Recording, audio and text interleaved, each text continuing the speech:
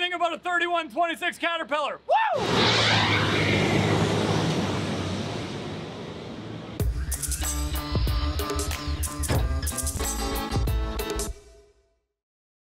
Okay, you didn't ask for it, but we're gonna tell you anyway. Everything wrong with a 3126 Caterpillar. So Caterpillar 3126 it comes after the 3116 and before the C7. It's a 7.2 liter ranging from 170 horse to 330 horse and ranging from 500 torque to about 800 foot-pounds of torque.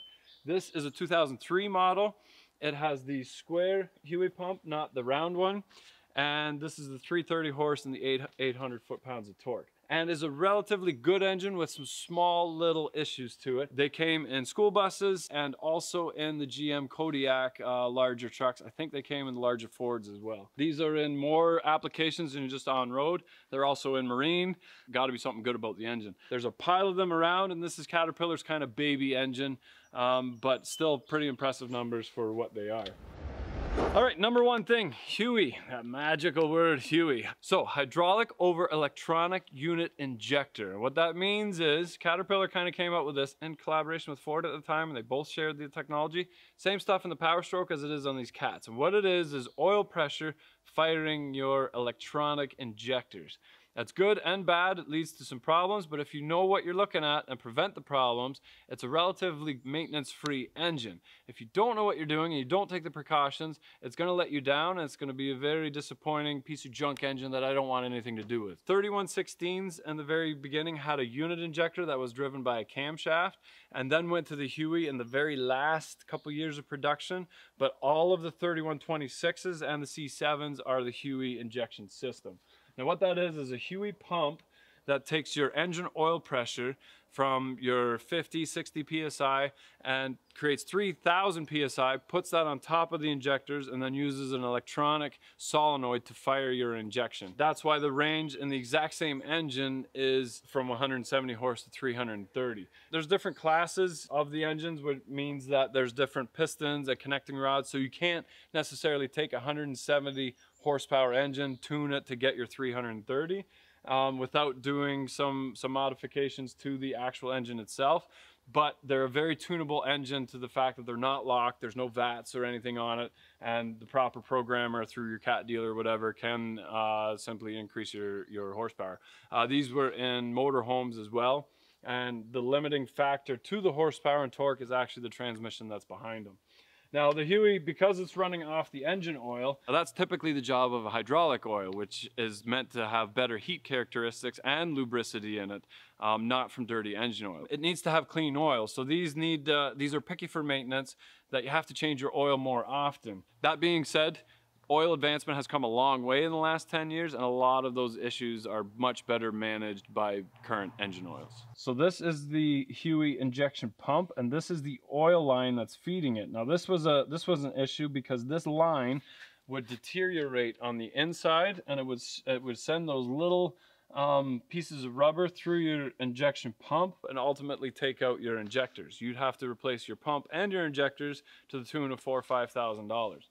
There is an update to that line, which is just a steel line that does not deteriorate. And if I was to take this engine and put it in something, first thing I would do would be to get that line with the filter in it. Anyway, let's see if this one fires up. Um, it's a little crusty, which is disappointing. This would be your line that has 3000 PSI of oil pressure, and you can see how rusty that is. So this being a school bus, it only gets run in the winter and gets parked all summer, which is terrible for salt. This one should have had a few more bass. This oil, uh, this oil line would have the 3000 PSI feeding your um, system, and, and it could basically rupture any minute and throw 3000 PSI of oil pressure under your hood. Um, not great, but when you do lose oil pressure, um, then it'll stop running. So uh, it's kind of a nice safety where if your oil pump has complete failure or you have zero oil in the pan, it just won't run. Or Gary, who's gonna be your bus driver, is gonna crank it for an hour until he destroys the battery and the starter and still runs your bearing dry with no oil pressure. But that's besides the point, don't hire Gary.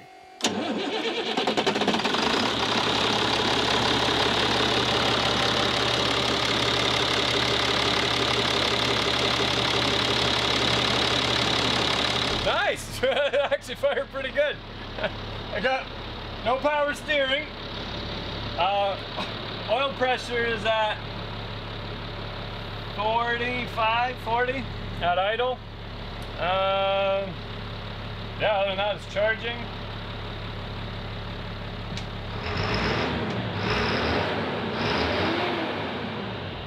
Sounds pretty good, actually. 341,000, which is 341 hard thousand kilometers because it's all stop and go. The buses barely make it past uh, 60 kilometers an hour between uh, the kids on there. And then you got kids puking and everything else in the back.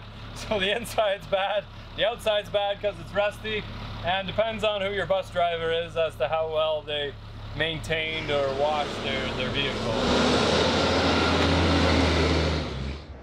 Okay, so because you're using engine oil to fire the injectors, if you don't use the right oil and you have dirty oil, they have really hard starts in the winter.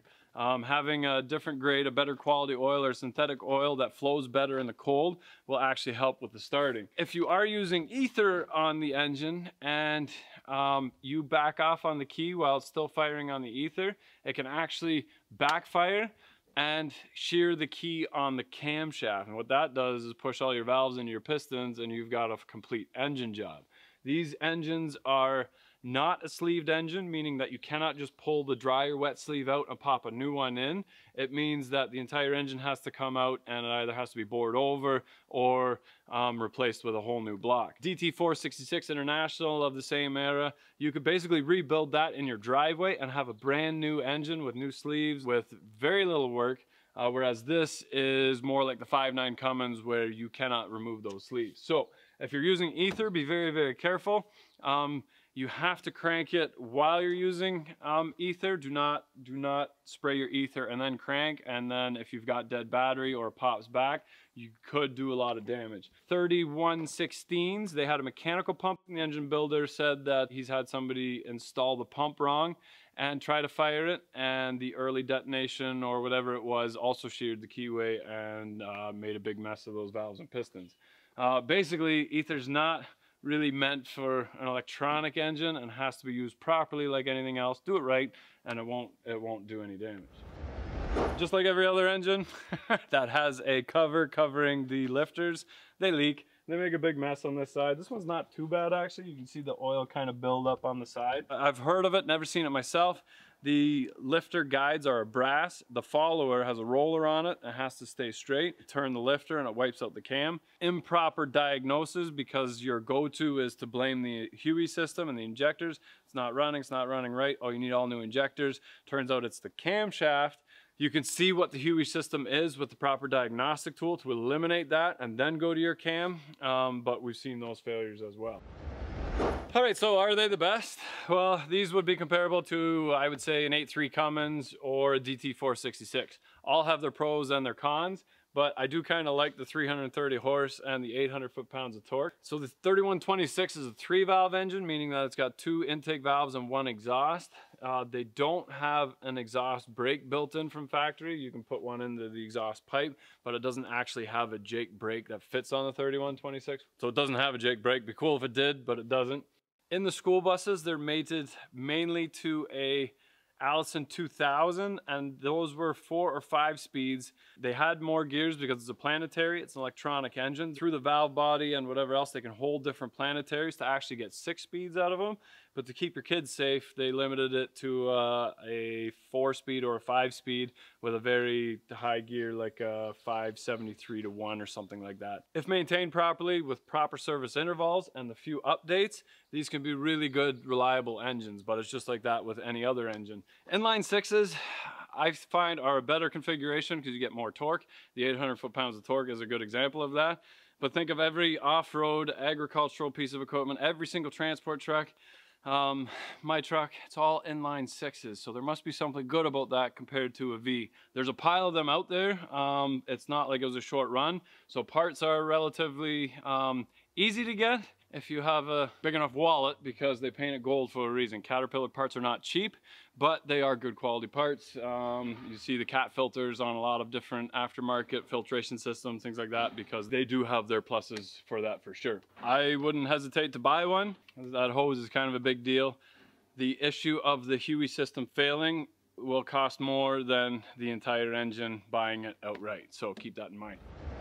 So you never know where you're gonna find a V&R, like a GMC TopKick with a, does it? Yes sir, another 3126. Nice. This one's not as crusty. This already has the MD3060 Allison behind it, so that is a six speed already. So this one has the, the round cylinder for the um, HEUI pump, so it's an older one. 330 horse and 800 foot-pounds of torque. This pump already has the steel line going to it. So somebody's done that. This filter looks pretty new, so that's a good thing or a bad thing because it's at a scrapyard. So why is it here? So this one's got the MD3060 transmission, which is a, a beefier transmission than the 2000, um, but they're both behind a 330 horsepower, 800 foot-pound torque engine. That's because this thing will have six speeds with like a highway gear, whereas the bus is probably limited to a four speed or a five speed, and has a very high uh, or tall gear ratio, like a 537 or 570 to one, something like that. You can get Allison transmission to unlock fifth and sixth gear, I think, but it's kind of a kind of an ordeal because they don't want to do that in the buses, so you have to talk to an engineer and they have to approve it. If you guys know how to do that, definitely comment down below. Um, there's a lot of RV guys and stuff, and we're swapping transmissions or or find a bus transmission that would work in the RV, but it's not unlocked or, or whatever. If you guys know what the what the procedure is around that, definitely comment down below because I'm sure guys would be interested in that. Should have there's room for three batteries. Let's see if one will do it.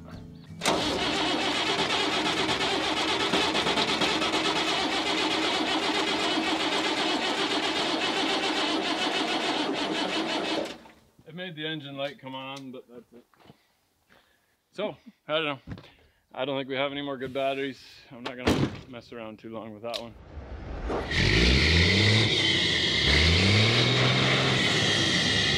How fast do you think we got to get going then? Getting her in the overdrive. That's first. Second. Holy shit. Moves the drive. That's pretty good.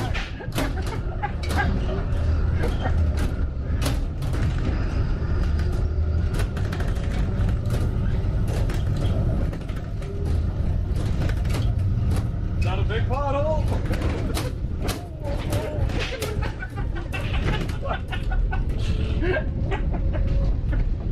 That's fast enough. Yeah. I think uh, I think it passes.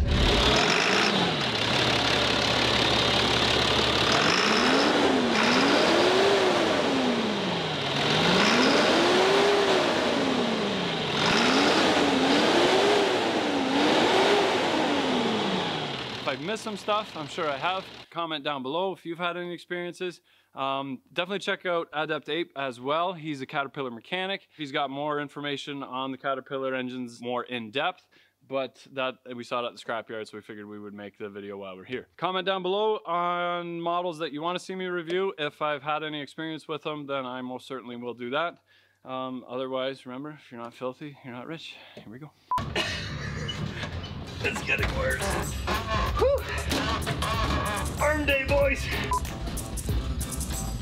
Hey! Better be paying attention or I'll burn this bus around. I like your precious little field trip pretty damn quick.